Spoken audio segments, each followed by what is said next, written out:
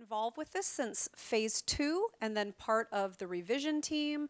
And I taught it as the lead faculty at Olympic, and then I've been a part of this training team as well. And I've been so excited to, to be able to go around the country and share with people this new approach, really, to teaching i i for a lot of us. I mean, it was a huge shift for me personally at the beginning. And it was because of my students' successes and their feedback to me that just kept motivating me to, to be involved and to keep going. And the other thing I did not mention earlier, and I think Ursula had kind of touched on this, it really informed how I teach in the rest of our program. So, what happened was after this, because of the great strides that I saw our students make, when then I was shifted to teaching on some higher level classes, I said, we need, we need to go hybrid, we need to go flipped, we need to get technology there front and center for our students. And it's been very successful. And the students who were coming out of IDEA were very sad at the prospect of not having something like that to continue on with, having that work at home to do. So um, this has not only been a wonderful experience within IDEA, but has also really led our program on to expanding and growing as well. So I'm excited to share with you our experience and, and uh, this curriculum. Am I just introducing myself? I'm Adria, Adria Katka from North Seattle College, and um, I think you've heard that I've been involved with this project from the beginning, but it's been really exciting to just see it go through many phases. Um, of growth and change. And it's really wonderful to be able to be, um, I think, after having taken taken this work and taken this training to various parts of our country over the last um, nine months or so, it's really fun to be able to be back here in Washington um, in our home state, but also with many instructors that we've worked with through the development phases of this project um, and seeing ways in which it's it's changed even here at home and the ways it's being used and certainly to connect with um, many new colleagues. So thank you so much for the time that you're investing to be here with us and to dig in and unpack all the parts of this curriculum. We're going to get into just a warm up activity right away, and then we will let you know more as we go. So, thanks so much. Great. So, uh, the other thing I'd just like to add is over these next two days, there's sort of four puzzle pieces that we want to put together for you, really coming from the instructional side. And that's what, what is there in Canvas and as a part of the pre work. That's the first puzzle piece, and that's what we'll be focusing on in this session. And then moving into another area, which is the instructional guide and what support materials are provided for instruction. And then tomorrow, the other two pieces will be focusing on how those first two integrate. So, how are we planning for a lesson? How are we figuring out what we need to do during the lesson? So, I, I, feel like tomorrow you're going to have a very clear sense these puzzle pieces will come together. And I have a feeling you'll all feel very confident at the end of the day tomorrow to start going in and getting the modules you're looking for. But to get us started, if you printed your program, on page 11, you have a Find Someone Who activity. And if you did not, we'll pull it up here on the screen with some questions. And if you could take a few minutes to just circulate and find someone who, I also recommend if one of these questions is really foreign to you and you find someone who has done it, take down an email. you might want to touch base with them later. okay, and it'll just be a, five minute quick, quick activity, please. Thank you.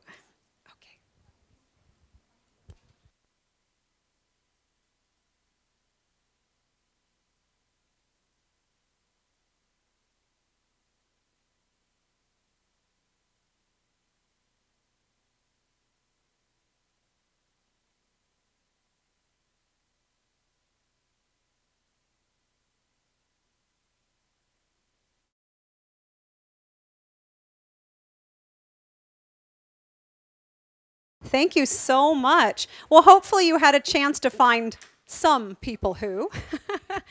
but one thing we really want to be sure that we're doing over the next few days is giving you an experience similar to what an IDEA student would have, which is one way we've intentionally sort of designed this training, which um, these questions give you a little bit of a preview because all of the questions that are on there are things you will need to be able to do during uh, while teaching IDEA don't be too scared about the have you ever built a website? You're not creating a whole new business website, but there is one module where that kind of touches on that. Yeah. yeah. so, um, in this particular session, again, we're going to be focusing on the Canvas part of it, which is the pre work, which is really the foundation of the course. So, one thing I'd like to say is in this program, we really don't use the word homework. We really want to very immediately shift over to that idea of pre work. This is something that needs to be done before they come to class. So, um, we want to make sure that after this particular session, you feel that you have a strong foundational understanding of the online components and that you feel familiar with the layout and navigation. You can locate the instructor resources, that you can use the instructional guide and some of the key features within the instructional guide uh, to find what you need, and experience what it's like to be an IDEA student. Um, one thing I do want to mention is that in Canvas, you have been put in as a student for this experience because we're all in the same class. If somebody changes something, it changes it for everybody. But it also allows you to see that interface that the students have as well. So there are things that we will be doing up here or talking about that you won't see on your screen until tomorrow. And later in the day, you'll be given a chance to go in as a teacher and be able to utilize all these features. But for right now, some of this is just going to be demonstration uh, through some of this morning. Okay. So the first thing we want to talk about is the scope and sequence, which you saw just a little bit this morning when Will showed you the three columns of all the topics. So we want to go ahead and open the full scope and sequence, which is in the back of your program if you printed it. And oh, this right there, you've got the page right there. Yes, I was, yeah. Thank you. Okay, thank you. Page 45. Uh, and if you didn't print it, you have access to this later and you can just look up here on the screen. But you'll see that this uh, Excel booklet has four tabs down at the bottom, one for each quarter. So for those of you who teach out of Washington, um, we teach on the quarter system. So these are designed for 10 week, 10 week quarters. And so you just click on the tab to find it. And they're all broken down the same way. On, on the far left, you will see the module title. So this is the theme or topic of that particular module. Then we have tech, tech objectives, writing, grammar, and math. I promise you, speaking and listening is heavily included in the face to face. It's not necessarily called out here. Sometimes people will ask about that, but it absolutely is very much included in, in the program itself. So you can just go across and see for each what's included. And it's not very clear for me up close here, but can you see the, the shaded banding? Okay, there is a real intentionality to those bandings. These particular uh, modules within the same band are very heavily scaffolded one from the next. So although this is OER and you can go in and you can take things apart and you can rework them, we strongly suggest keeping those modules together certainly until you would have a sense of what you would need to backfill if you were to take one out. So again, you do have a copy of the full scope and sequence, but because this session is just focusing on fall quarter, we're going to look specifically at two of the modules. These are banded together. So the two that we'll be looking at are study skills and American education system. And again, these are in the fall the fall quarter. This is, again, this is on page 45 of that conference book if you have that. Otherwise, you can see them up here. Yes. So we'd like you to take just a few minutes uh, together with a few people at your table. If you could have a, a, short discussion, we will come back to the slide in just a moment if you don't have it printed out. But we'd like you to have just a, a, a short discussion about where do you see the connection between these two modules as well as what do you think is significant about these themes? Why would we have chosen to include these themes and how do they seem to be connected as modules?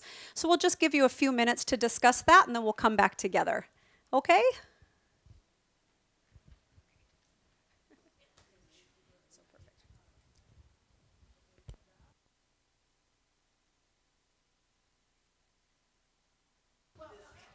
Okay, if we can just come back together and we'd love to hear some of your ideas. Where are some of the connections that you see between these two modules?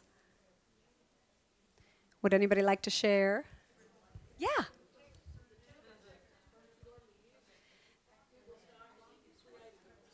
Great. So she's saying the tech objectives, noticing we're first creating a Google Doc and then extending out from there to more skills within that. Absolutely. Anything else?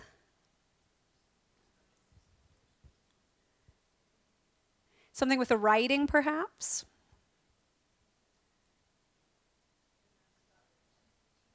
Right. So here, uh, she's saying it's, it's about writing. So here we have, you know, we're using graphic organizers right now. We're just really organizing our ideas, um, either based on reading or writing. And then in the next, you're moving towards constructing sentences. Um, so really here, you're not exactly teaching the writing process, but you're teaching parts of it, right? We're doing pre-writing, we're doing organizing, and it's just kind of embedded in there. It's not so explicit, but it's definitely woven in. So absolutely, those are two great observations for seeing that. Um, and the second question was about the topics. Why, why are these two particular topics or themes ones that we would include or important for students?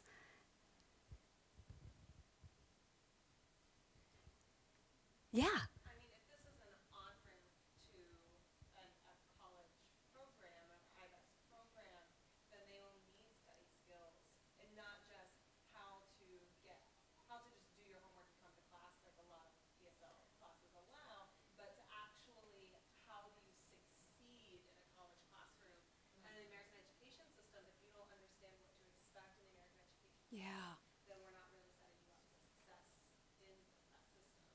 Fab yeah, very well said. Absolutely. Some great reasons. Anybody would like to add to that or? Great. Somebody in one of our opening sessions asked about students who come in without necessarily um, full educational backgrounds, you know, depending on what their opportunities were before they came to us. There's also this sense of that study skill piece may really be the first time they're actually learning strategies and, oh, excuse me, uh, and learning what it is to be a student and those expectations. So thank you so much. That was very well put. Okay.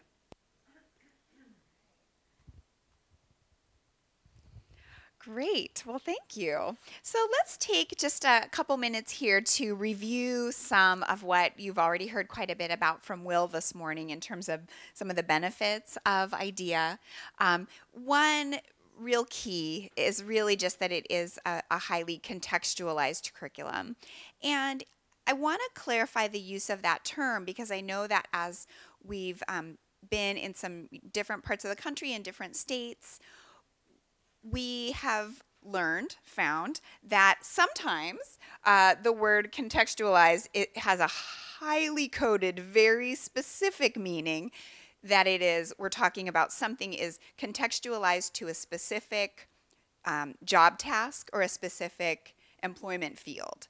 And that's not the way that we're using the word in our context. Ugh, context, context, context. But in this context, when we say context, when we say contextualized, we just mean that it's theme focused as opposed to being sort of like a grammar organized curriculum or some other type of approach. It's really based on particular themes um, and that, you know, it's really got, you know, math embedded in it and these things like this. But um, the way that the curriculum is developed and delivered as not only a flipped curriculum where it's you do that lecture part at home and then we do practice in class. It's not only that, but it really is blended that, that these two parts are not meant to be delivered or experienced in a kind of siloed fashion, that they're really it really is very important that they're not freestanding curricula, but it really is one integrated model. And so when Shannon said that this, uh, not this morning, but in session one here, we're going to look a lot at what's available to students online and your tools online. And then we're going to look at what happens in the classroom in the face-to-face environment in our second session. But tomorrow when we look a lot more at how those are blended together, we can really see the hybrid fashion of it. Not just that it's a dual platform, but it really is brought together. And it's important um, in making the most of the power of these tools. There's a lot going on here in terms of fostering student independence, student empowerment. Um, we talked a little bit this morning about how this is a, a pretty personalized kind of curriculum um, and kind of uh, just gets gets at what students need but give, gives it to them in a package that will hopefully be right for them. I don't mean to suggest that it's a silver bullet or that it's the magic pill, but just that there is something in there for just about every type of student and that each student will have a different experience depending on what they bring to it. But also that it's controlled, the, the speed, the pacing, um, sort of the depth. A lot of these things are really controlled by the student at their individual level. And so it means that they can experience things more than once. Um, they can get different kinds of feedback. They can go down different paths depending on what really pops for them. And so all of this is, it, these are some really critical pieces. Of course, also, you know, and we'll continue to remind you in case you don't believe it the first time or the second time, that it really is all open source material, either things that have been created by the creators of the project um, and that we're saying, yes, use it, or they're let's say images or things that we may have found online, but we've made a very, very concerted effort to make sure that everything that we either create or that we've taken for use is all available as an open educational resource. So it's all available to you. There's no charge to use any of it. Uh, we encourage you to use it, adapt it for your own uses, for your own settings, and to make of it what you will. This one says stand up. We don't have to stand quite yet, but I'll give you a couple of instructions. We had a very good question this morning in the panel discussion, I think, about have you ever had a student who didn't do their pre-work? and and I laughed because as Jody sort of looked down the line to the five of us who were sitting at the table, she was saying anyone, and we were looking at her and saying everyone. All right. So, um, of course, we have students who, for whatever reason, don't necessarily accomplish their pre work. That's not exactly what this question is about, but you'll see where we're headed here. The idea here, what we want to talk about is, you know, for some of us, coming into the idea of teaching in a hybrid or a blended model is a new thing. Um, doing something with online instruction is entirely new, or maybe it's we've done a bit of dabbling, or maybe we've experienced that as a student but not as an instructor. Um, but all of us have instructed in a setting where students doing some practice outside of class is desirable. I, I think I can say that with some certainty, right? And so what that outside of class work looks like in this model is different, to be sure, because most of it is something that's being set up ahead of time as opposed to after the fact practice. But if we can think about um, what it is that might help how we might kind of frame this or help students to understand the the concept of doing outside of class work and the concept of doing that as pre-work, and that might be a paradigm shift, understanding for us and for them. If we can think about that, the understanding the importance, and then also how we can encourage students to complete it, um, whether that is how we incentivize it or or what have you. But just just talking and thinking about how we can help students to get there and get that done. So let's take a few minutes just in your table groups. Um, these table group sizes will work just fine. We have some smaller ones and some bigger ones, but it looks like this will all be functional. I don't think anyone has to move for purposes of this activity. We'll bring you one gigantic sticky note. We all love these, don't we? And we'll bring you one marker. I think we may only have four markers, but I'll find one more. Um, we'll just ask you to have a short conversation with your table mates in answering uh, these two questions, and then we'll do a little bit of sharing afterward, but we'll do it in maybe a different way from what you're expecting. Okay, thank you.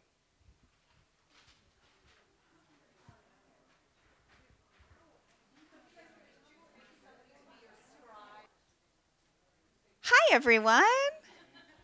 Thank you. Thanks for sharing your ideas. It's fun to see the ideas that are coming up. And we would like to do a little bit of a share out which doesn't surprise you. But as Shannon mentioned, um, and in our list of objectives for the session, we wanted to have you experience what it's like to be an IDEA student. And we don't just mean what it feels like to be confused by looking at a bunch of things in Canvas. Um, we do want to try to layer in some of the types of activities that we do in a face-to-face class with IDEA students into this setting. And so one of those is what we call a gallery walk. Some of you will have done that before. For some of you, it may be new. There's not any actual art except the art of your ideas and your brilliance. Um, but the general idea with a gallery walk is that whatever task students have been um, assigned to create, produce, whatever the product is, that those would just be on display for students to wander and peruse and see the results. And so rather than asking for someone to speak in a share out, we'll just ask you to lay out your work. Actually, I think this time they're sticky so we can just post them to the wall. And as long as they stay standing, sticking, um, you can just walk and take a look at some of the ideas. Um, and we'll share our ideas with each other in that way.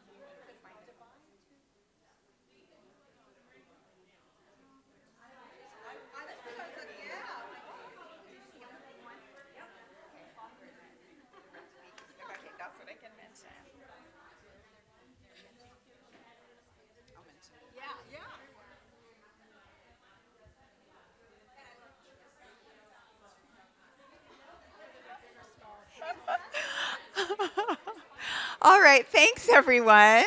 If we can come back to our seats. Just to wrap up this activity together,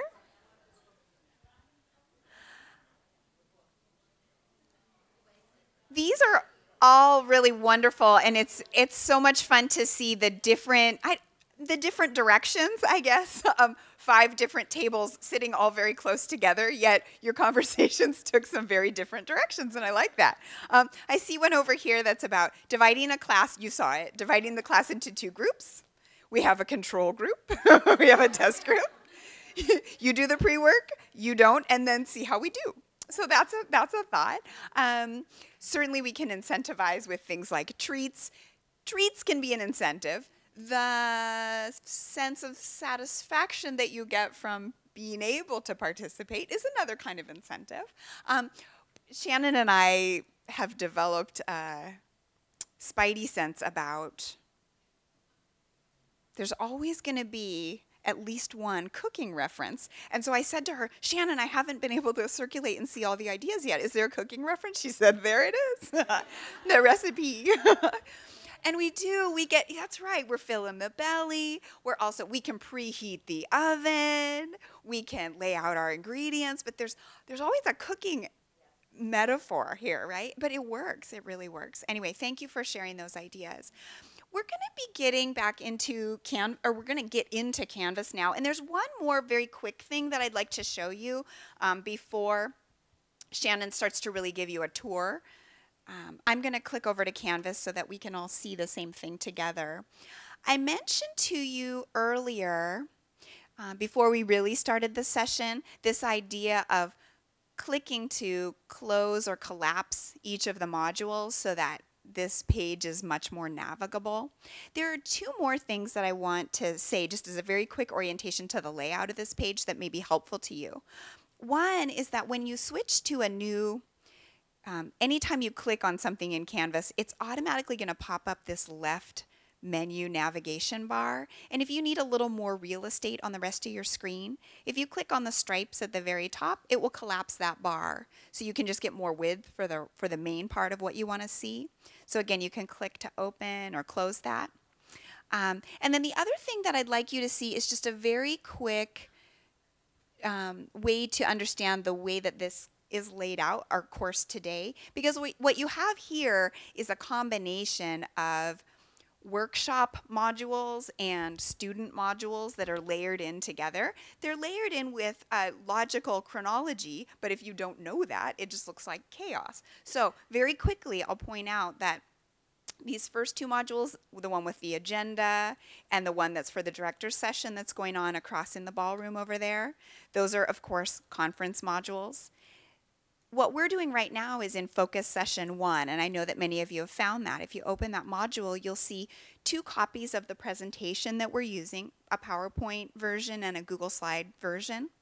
And then you'll see two handouts that we're using in this, okay? Then below that, you're gonna see two student modules. These are the two that we'll be looking at together from the fall quarter. After that, you'll see the focus session two, that's a workshop module, and then two student modules, personal inventory and career exploration. So I'm not gonna go all the way down, but just to give you a sense, that's uh, the kind of chronology that we'll work through. So um, there you go. You want me to stay there? Okay. Great, thank you so much. So is everybody ready to get your hands in there? We've been talking a lot on that sort of overview uh, level, and now we're going to get down into the nitty gritty. So hopefully everybody is in Canvas, has Canvas open. If anybody is having a problem, please raise your hand, and Adria can come over and, and help you get set up there.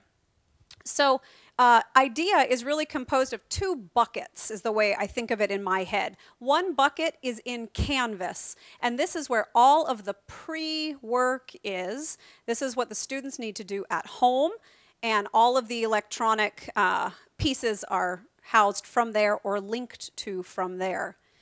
The other bucket is in a Google Drive a Google Drive that has been given to you. So this is not something that is inside of your own Google if you have if you happen to have Gmail. This is one that you will link directly to. And just as a reminder, as we walk through these next couple of slides, it's going to be more of a demonstration because you are in there as a student. So uh, you can you can be looking at your screen and up here, or you can just look up here for now. And in a few minutes, you're going to get some hands-on time to to be in there poking around.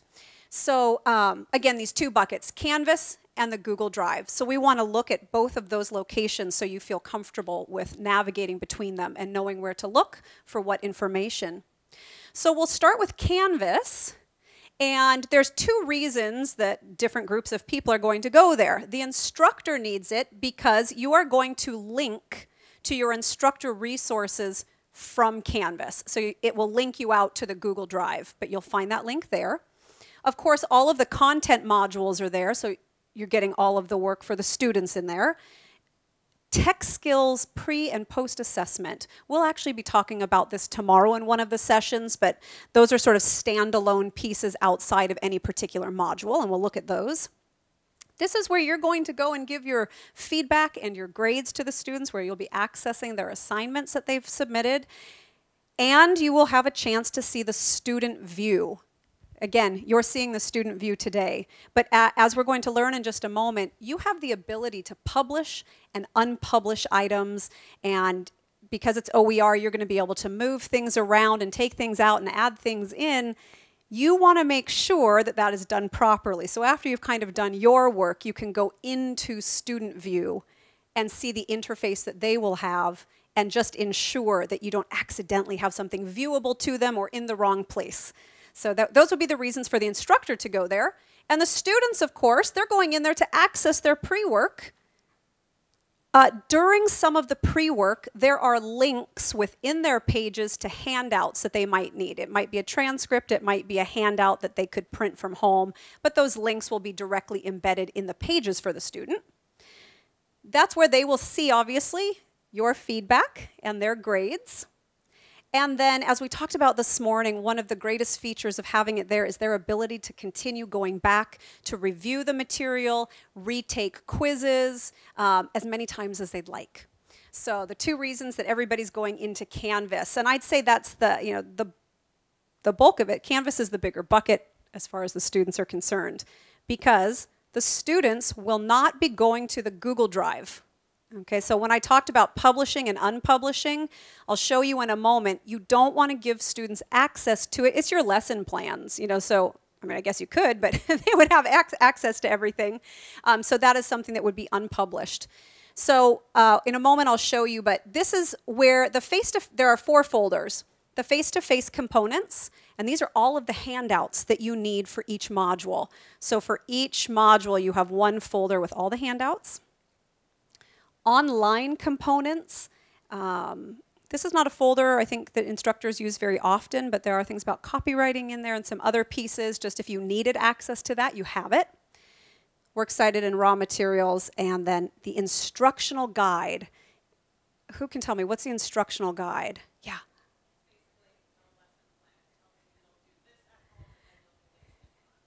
Thank you. I knew we had some experience in the room. We use this word instructional guide, and I will try to remember to say that in full, but just internally, we've all been calling it the IG. So if you hear me refer to the IG today, please know it's the instructional guide, which is actually your lesson plan, and we'll be taking a look at that as well. Okay. Oh, so I'm going to, so we're going to take a few minutes just to look through Canvas and the layout. One of the very first things that Adria already touched on today is the importance of expanding and collapsing the, um, oh boy, this doesn't want to doesn't want to stay there for me. There we go. Uh, expanding and collapsing the actual modules as you will see, it gets very lengthy. And for students to be navigating down that page by even week three, it can be a little overwhelming. So I know one thing I do is after I talk about it, but then at the end of every week, I remind them in class, you know, go ahead and close that up. We're done with that one. You can always go back, but just a reminder to them to also help for their navigation. So, I'm going to go ahead and open study skills. And like I say, you're welcome to just follow along on the screen or if you want to be, you know, moving through on your computer as well. But I'm just going to be demonstrating some things here and then you'll have time to go in. So each module, so when you open when you open a quarter's worth of work, for example, you'll have 10 modules, meaning you'll have 10 sort of units there with these carets next to it. Each of them have the title of that unit at the top, so this is study skills. And within study skills, there are five subtopics. The way that this curriculum was designed is that each subtopic correlates to a day of the week. So, assuming you have a five day week, then on Monday, I would be doing the subtopic of successful students. Now, I'll just say a lot of schools didn't have a five day week. I, I didn't either. So, later we can kind of talk a little bit more about how you might adjust kind of where you draw your lines, and it, it is absolutely easy to do. It just takes a little, little bit of pre planning, extra pre planning in the beginning. But just to let you know, this one on day one, I'd be coming in Monday for successful students. Tuesday would be reading strategies. Wednesday would be note taking and time management. And then test taking strategies Thursday and more graphic organizers on Friday. Each subtopic has no more than five activities. That was it's kind of like a template. Each module has five subtopics, and each subtopic had no more than five activities. However, on occasion, you will see, for example, up here, that there were six on this day, but the very last one here says do in class. So that is something that this idea of publishing and unpublishing becomes really important. Uh, at the beginning of a quarter, I would just open all of my modules and scan down to see the in-class items. I'm not going to do it right now because it will, for the other group, it will make it disappear. But if I was to click on this little button here and take away the green check mark, it would unpublish it. So as the instructor, I could still see it, but it would disappear from your view. And you don't want students to do that at home for a variety of reasons. It may be that you haven't pre-taught what they need for that, or or it might involve some group work. So the in-class activities, you just want to be thoughtful of unpublishing those before they go. I think, yeah, okay. Oh, thank you. Okay. so you'll notice that there's kind of a, a, a naming convention to the types of acti activities that students do. I'm going to come around here, that's very bright. You heard uh, several times this morning about learn activities. Up there, this one says learn successful students. Anytime you see something titled a learn, it is the new vocabulary words. And there are typically three learns in every module. Okay, so over different days, but within the module. And then every learn, as Will mentioned this morning, is followed by a discuss. And they are given a sentence stem to really talk about their own life experiences related to that topic. And it really does guide them and direct them to try and use the vocabulary they just learned. So they're really trying to make a correlation between those two activities. And then we have read, listen, watch. So they'll be able to read it, but also listen to somebody speaking it, which is fabulous, especially um, you know, for your lower level students who again are just getting those sounds. And I know that got brought up this morning, so that's a really nice support for some of the lower level students. They'll have to do something here, they're going to watch here, and they're going to submit something here. And maybe you've noticed these little icons next to it. Each of those icons, for those of you who are not in Canvas, it basically re relates to the kind of activity that will be in that page. So if you see something that's just like a piece of paper with kind of the little folded down cor corner, this is information. Something's just being delivered to them, a, a little bit, I guess, like your lecture in class. I'm giving you the information here. When you see the little rocket ship, it is a quiz. That's a little bit of a misnomer on the learns, but just because of the system, it was how we had to build them within a within a quiz setting, but it's really the first time they're learning it for a learn. But usually this is a quiz, so they've learned something, they've studied it, and now we're going to test them on it. And of course, the little kind of chat bubbles there for the discussion. And then there aren't a ton of these in here, but the piece of paper with the pencil on it, this is an assignment. So they're going to have to produce some kind of work and submit that. And the process to do that is a little different. And I, one of the reasons it's done in, in class up front to show students how to do that. So yes, you'll start to get a sense when I scan through here, I can look really quickly and say how many quizzes are there this week?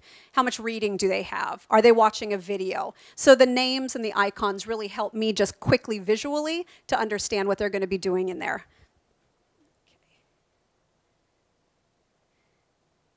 And so we're going to go back up to the top. Did anybody notice this little blue link here? Okay, we have this published for these trainings with you. But typically for a student, that would be what you would want that to be unpublished because that is your direct link into the Google Drive where all of your lesson plans and class handouts are housed. So just to show you briefly, we're going to open that up, and often you have to click again to go into it.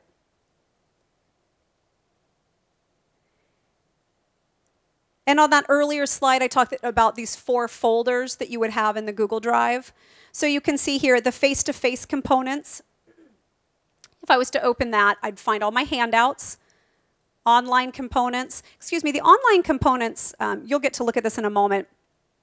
This actually has the vocabulary from the Quizlet decks that they look at. So when I said I didn't go into that one earlier, I, excuse me, it's the cited work I don't go into often, but the online handout pieces I do. It's a wonderful, thank you. Um, it's a wonderful handout to give the students of the Quizlet deck in another way that they could study it. So, nope, where am I? Where did the actual, there we go. Uh, the works cited in raw materials, that's there as a reference for you, but you really won't need to go there. Really, the most important document here is the little blue icon. That is the document that is your instructional guide. And you'll get to explore that in just a moment, but I'll open it very briefly. Always has the title of the module at the top. This is the full week's title, not the subtopic, but for that full week. And it contains all of the information that you would need to complete your lessons for every day of the week. As you start looking through here later, you'll see at the top there's a lot of different ways that sort of summaries and synopsis of what they're doing is presented. And then as you move further down the document, you get into these step by step details of the actual implementation of the lessons. So on page six is really where my first face to face detailed explanation starts. So does that make, does everybody sort of feel like, oh, okay, there's these two buckets. All the pre-work is over here and all of my instructional materials are over here in the Google Drive. Does that feel okay? Yeah, Judith.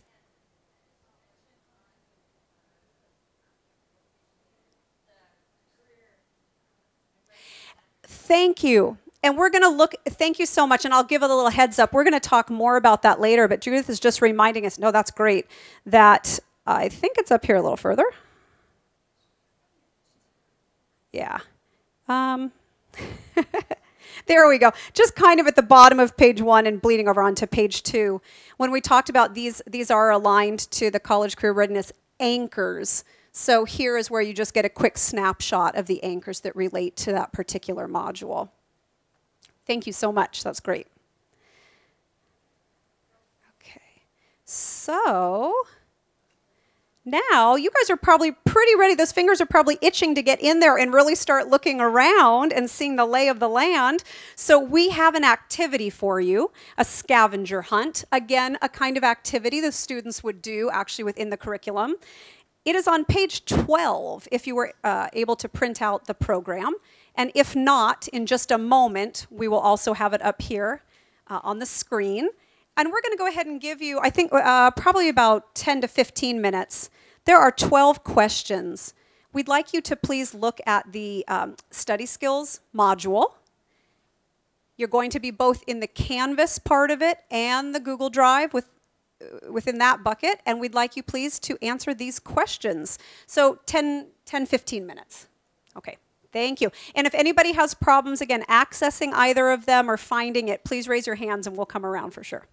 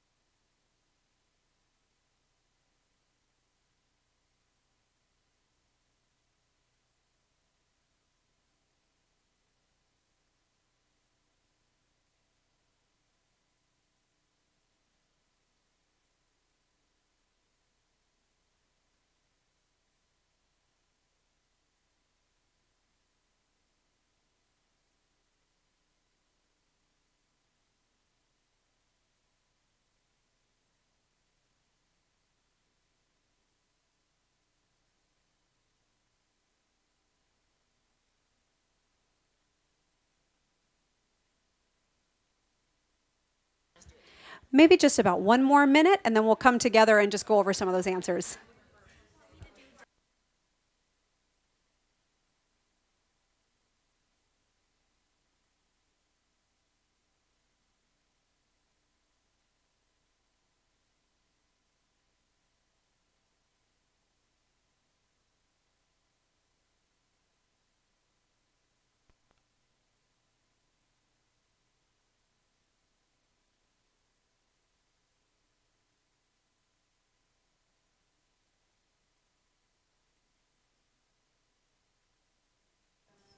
Okay, we'll take a few minutes now and go over the answers. And if there were any questions or people had problems locating anything, we can, uh, Adria will be up at the front kind of driving that so she can navigate to that to help you find it.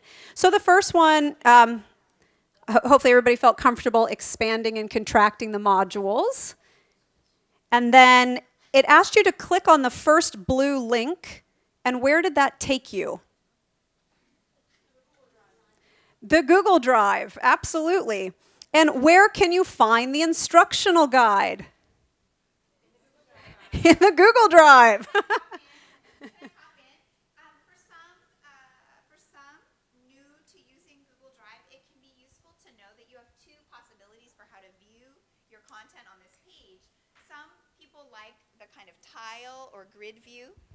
sorry, some people like this kind of tile or grid view. I don't because I can't read the titles of any of the items. So I click here to get a list view and then I can see the full title or a fuller title, at least depending on the your display size, so that you can see more of what's in there. But again, that's just a personal preference thing. UDL in action, multiple means of representation. I like the other view. so I use the little tiles, but since you're driving it right now, choose the one you want. so yeah, when you clicked on the blue link, it popped you into that uh, Google Drive where you were able to locate the instructional guide. So the next question is asking about what are the first five sections of the instructional guide, which is really talking about the first five that I very briefly referenced, saying they're kind of overviews and synopsis of, of what are taught, but not the actual instructions. So you can just check and if you didn't find it, you can look up here. The first is module overview, which is kind of a, just a summary statement of what will be taught, followed by module outcomes. Those outcomes are also in Canvas for the students on one of their first pages. The college and career readiness standards, again, as Jody mentioned, those are linked to the uh, anchors. And the module delivery notes. I'm going, we will talk more about these later, but I really want to highlight these right now. And I'm curious, I see Judith going, yes. Um, uh, earlier, I referenced that there were about 60 people who had weekly phone calls through these three, uh, through the three pilots. And every week, uh, people would have some of these, I wish I had known this, or if somebody was going to teach it, I would tell them this. And all of those comments were collated, and these lists were created. So you can come into this without having to preview everything and come here and see, do I need to set up a guest speaker, a site visit? Do I need to do a little arts and crafts and cut up some fake money? Uh, there's all kinds of things on here. So uh, we just really want to highlight and underscore the importance of previewing that before you're walking into class on Monday because there are times where you do need to set up guest speakers and things like that in advance. Yep, and my favorite, module at a glance. How many of you found that one? Yeah, Okay, great. I see a lot of hands there. This is so wonderful because this is just, again, a quick snapshot of what the students do as pre-work at home for each subtopic and the follow-up activities that are in the face-to-face -face topic. So if I can jump to question number eight, and it asks, what is the third subtopic in this module? This is a great place to look. It's note taking and time management. Adria, can you go up just to the top just for a second, the very top of this one? Because here, this is their pre pre class. This is everything they do online. They come to class on Monday, and we're doing successful students, and we're doing these activities. On Monday, they would go home. They would complete these activities for reading strategies and come into class. And this is what we would do to follow up and practice and apply. Then for the third day of class, note taking and time management, and then what you would do in class. So before I start a module, I like to look there. I don't know if you found that, but I found this a really um, a good resource and support. Again, just that quick snapshot of what would be taught overall that week. By the way, for people who are doing not five days a week. This was also one of my best friends when I had to redraw what I needed to cover in a given day. So I guess I also just point to that for people on different types of schedules. Okay. Um, handouts for face to face activities are in two places. Who can tell me where they found them? In the instructional guide, there's actually links to them if you got further down into the activity descriptions, and we'll look closer at that tomorrow. And of course, the folder that we looked at earlier, which is the face-to-face activities folder uh, within the instructional guide. Okay. Um, I do want to talk for a moment about making a copy. Was everybody successful at making a copy? Okay, we're, we're going to talk about this. But there is a reason. Uh, does anybody know why you'd have to make a copy? Yeah, because you're getting you're gaining access to a master a master drive and any change made there is a change made for everybody. So, when you want to modify or on some handouts where you are required to modify, you need to save a copy from the master Google Drive into your own personal Google Drive. First, that requires you to be logged into your Google Drive. so that's one thing we found at these trainings is people say it won't save to mine, but they haven't logged in yet. So you first need to tell it where to direct, where to direct to. Yes. So after you save it, you have it now in two places. You can still link from, you know, the instructional guide to our version of it and You'll still have access to the master, but now in your own Google Drive, you're going to have the second copy of it, of which you can edit, add, delete, tweak, whatever you need to do to it. And so I just would like to have uh, Adria is up here. She's just going to quickly demonstrate how to do that.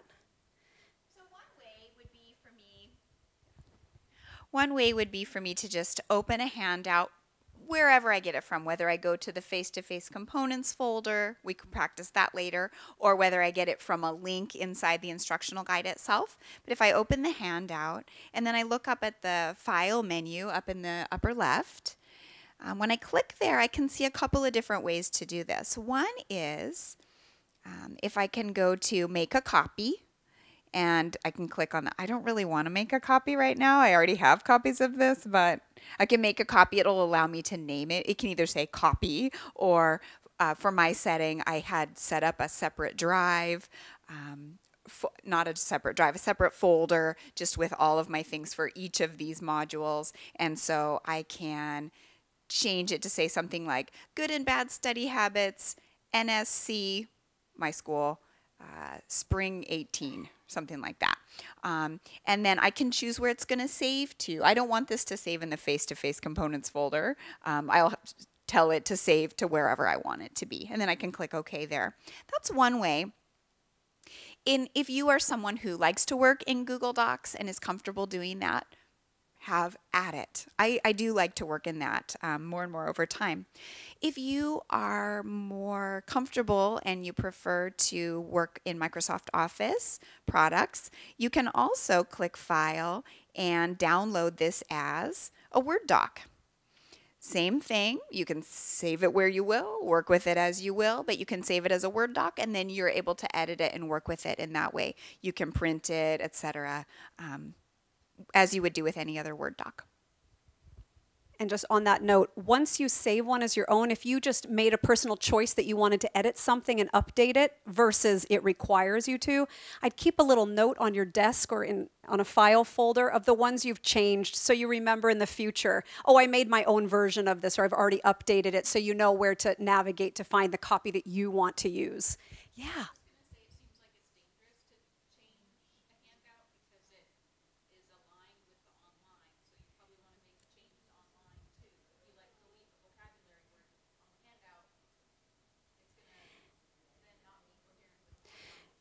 I think that's a really good point. You want to be thoughtful of what edits you're making and what it's supporting out of the pre work to make sure that it's still relevant as a follow up activity to what they learned for sure. Yeah, thank you.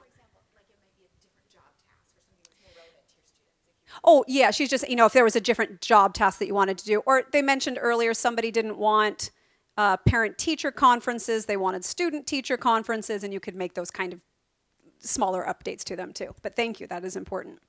Okay, so um, we're, we're getting close to the end. I, I still want Adria to be able to cover one more thing, but I just I think I'd just like to go down to number 11, which is how many new vocabulary words are in a learn? 12. And a, a learn is always followed by what kind of activity? Discuss. And again, I am pretty sure I'm right in saying there are three learns in each module. So there's a fair amount of new vocabulary.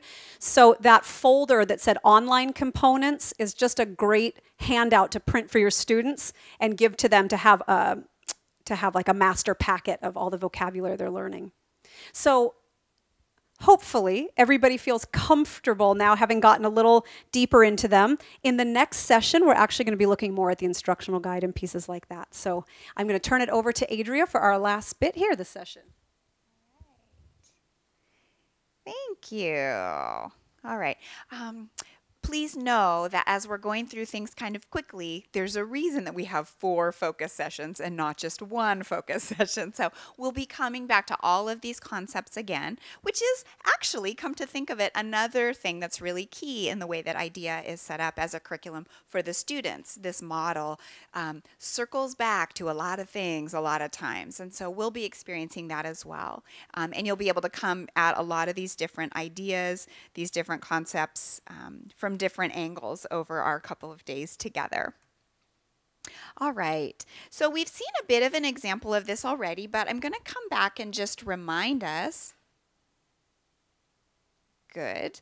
Um, we've got this, the computer's sitting on an incline, which means the mouse is also on an incline, which means it keeps sliding down. and so anyway, not everything's looking the way we expect it to all the time.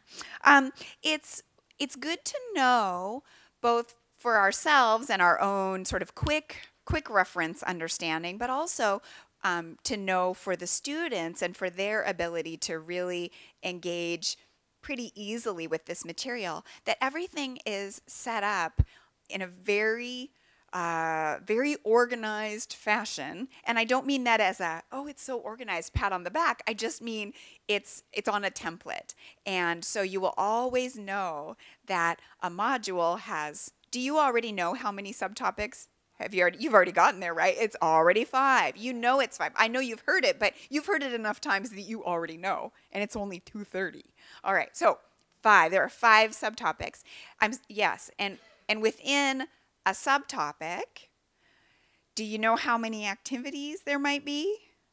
There will be five. Okay, there could sometimes be six, but if there were six, why would that be? Because one's a doing class. See, I'd say you don't need us, but you still do. so stay. All right, but you've got that.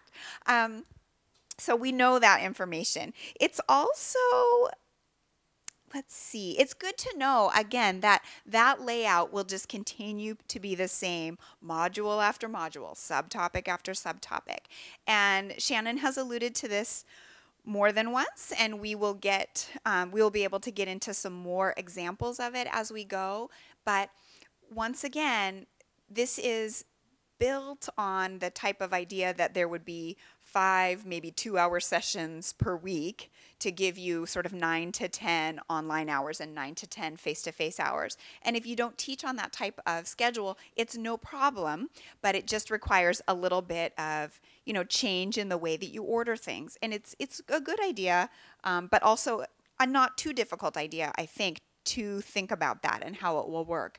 So, for example, Shannon will talk a lot about how, well, it's written for nine hours, and I have nine hours, but my nine hours are three times three instead of two, two, two, two, one.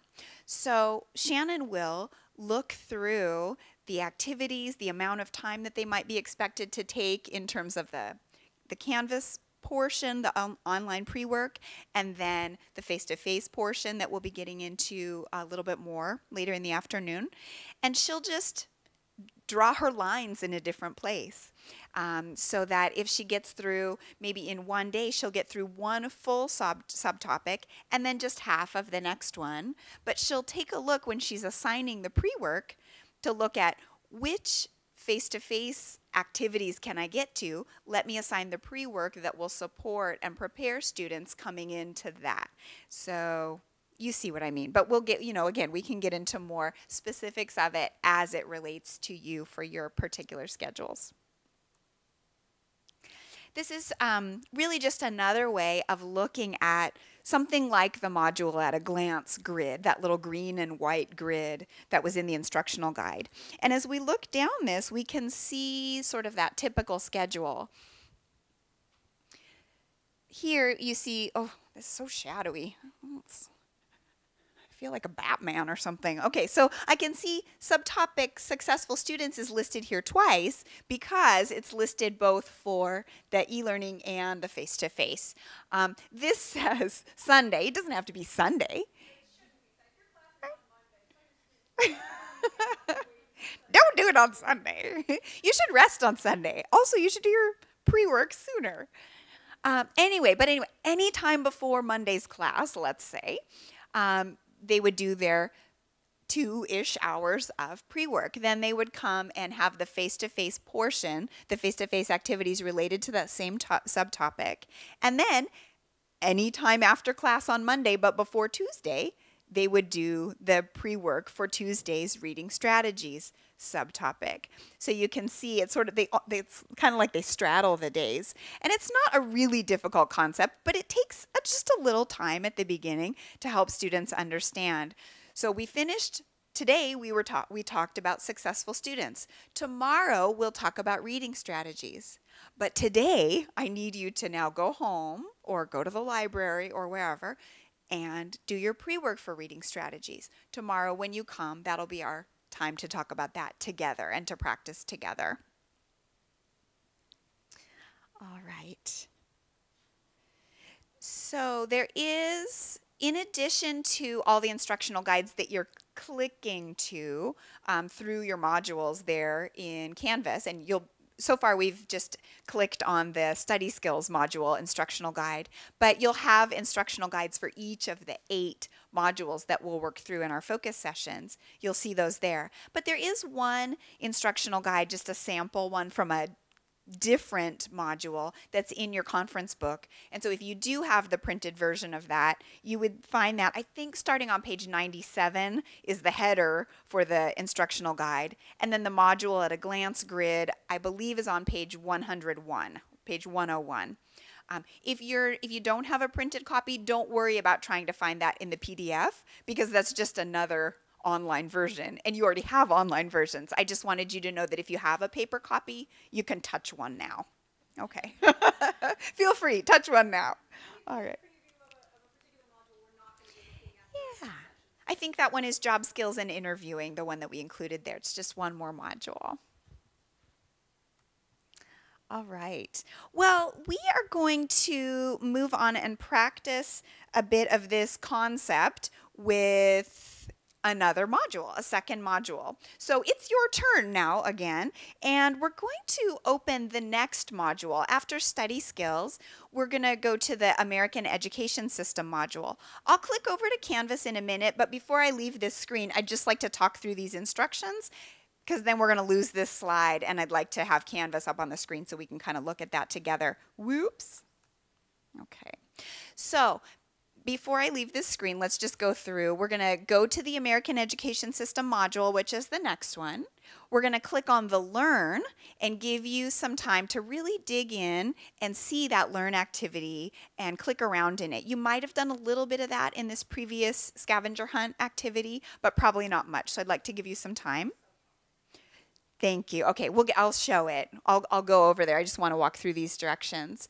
Um, the Learn, as Shannon mentioned, is called a quiz. It's built kind of housed in the format of a quiz, not because we're trying to do some kind of summative assessment on students the minute that they get new vocabulary. That's not nice.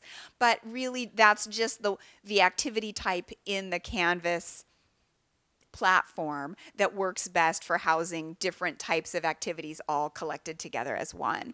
So we'll give you some time to work through that activity and see how it's built, see how it operates. Um, and then if you have time after you do the learn, you can continue on and do the other activities that are in that first subtopic. The first subtopic is the American school system. So I'm going to click over now to Canvas so we can take a look at what all that means together. I'm back in Canvas. I have finished for now looking at the study skills module, so I'm going to click to collapse or close that module. Scroll down just a touch and open the American Education System module. Inside, the first thing that I'll see is the Google Drive folder, but for right now, you don't need to look at that actually. For right now, we'd like to give you a chance to really explore some online pieces. That's really what we wanted to have as the focus for this first session. So you'll see the Google Drive folder. You can skip that for now. You'll see a listing of objectives for this module. And we do, most of us, I think, keep that published for the students. Um, but under the first subtopic, American School System, you can see a Learn activity. And then you'll see a discussion, and a few other content pages. So if you have time after the Learn, go ahead and explore those. Inside the Learn, again, you're going to find that it's built as a quiz. So when you click on it, my view will be slightly different from yours because you'll have a student view by default and I haven't clicked over to a student view. But I can do, even from the teacher view, I can do what's called preview. On a quiz, I can do preview and then so I can kind of see what you see. You'll have a blue button that says take this quiz, I think. So go ahead and click on that. And as you scroll down, you're going to find several different types of activities. Will gave us a quick, brief tour of that this morning in the opening session. One that I want to draw just a little bit of attention to is this read and speak activity, which comes after the initial list of vocabulary. Read and speak, this is the um, pronunciation practice. And there are a couple of things I'm going to point out about this. One, I'm going to go up to the top and collapse that left menu so that I can get a little more real estate. Oh, that looks so weird. And then um, what I'm going to do is do a little command or it might be control for you and go minus sign to shrink down if that's a display issue for students, those are a couple of just common problems that can pop up. So sometimes collapsing that menu on the left or just changing your display size can help. Um, I'm sorry? Yeah. So one of the things that the first thing that I did was um, I did there was this menu was open on the left, so I went to the top and just clicked to collapse that. And the second thing that I did this is just a keyboard trick. Um, for me, it's on, an, on a Mac, it's the command key, that loopy funny one with a plus sign. If you're on a PC, then it's going to be control with the plus or minus sign. You can make your display larger or smaller. That's all.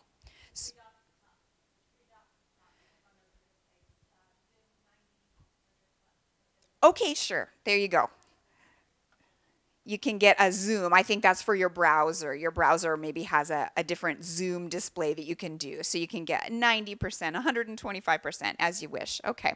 The, the last thing I want to mention, and then I swear I'm going to stop talking because I want you to have time to explore, is um, one of the things that students will learn as a part of the Intro to IDEA module is how to record themselves and you haven't had the benefit of working through that yet. So if you don't know yet, I'm going to tell you that when you get into that read and speak activity, um, you will find you probably can't see it because it's so little up here, but you'll see it on your screen. Looks like a little TV screen with an arrow in the middle. Looks like it might be like a, a video or something.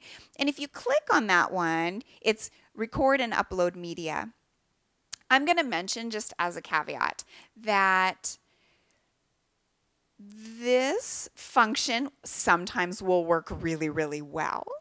But there's an issue of sort of the, the unique combination for different computers and different um, flash permissions and different Wi-Fi connection strength and what have you, right? There's this magical combination. And if you don't hit it right, then sometimes you'll have issues that you might just need to figure out what works on your combination of technology in your setting, and then you'll know how it works, and then you can make it work magically for every student. I know that on my computer right now in Chrome, that doesn't work. But I know that in my computer right now, if I go over to Safari, it works. So I could demonstrate it for you if you'd like. Um, but just know that if you click there and then it says flash required, you might have to run a flash update. You don't want to do that right now, do it later. Um, if you have any issues, flag us and we'll see what we can do. But our answer might be, oh, maybe the Wi Fi is not strong enough. Try again later. Or it might be, oh, you need to update your flash. Try again later. I swear it works and it's really cool. Yes.